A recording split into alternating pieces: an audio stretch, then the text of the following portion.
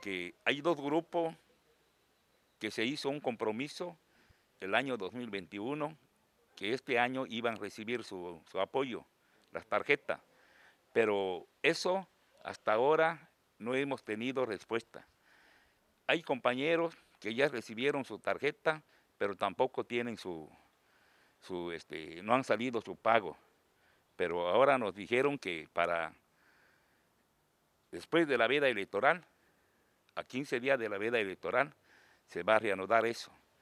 Pero la inquietud de los compañeros de los dos grupos, uno que se llama Cosechawi, otro que se llama Lisado Nechechi, uno de la séptima sesión y otro de Álvaro Obregón, el compromiso es que saliera su, sus pagos este año, pero no nadie, nadie, ninguno de ellos no ha sabido su pago